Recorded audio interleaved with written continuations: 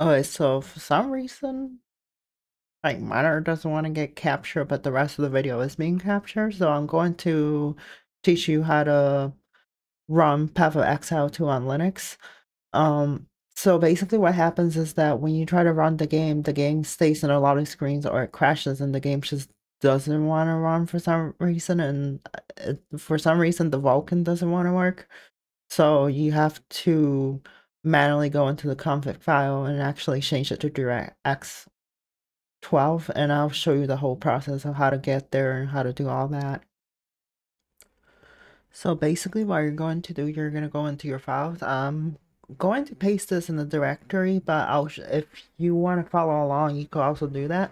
So you go whatever you have your game um safe. I I install my my Steam folder, so you're gonna go into Steam, Steam apps, you're gonna go into compat data, then the ID will be 269, the one that starts with 269 44490.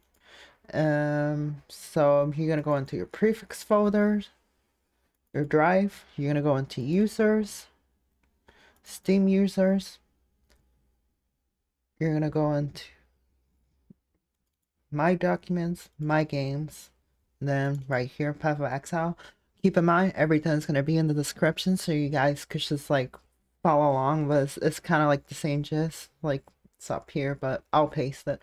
So for the sake of this video, to make it quick and not waste your time, I'm just going to open in Notepad, and right here where it says render type, you want to change this from Vulkan to direct to DirectX 12.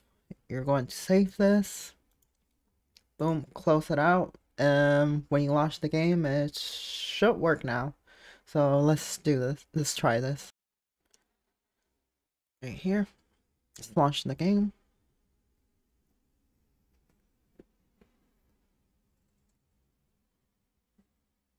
And everything should be working. So yeah, that's basically the solution. Um, don't forget to, if you like this video and this video, help first, just give me a like or throw a comment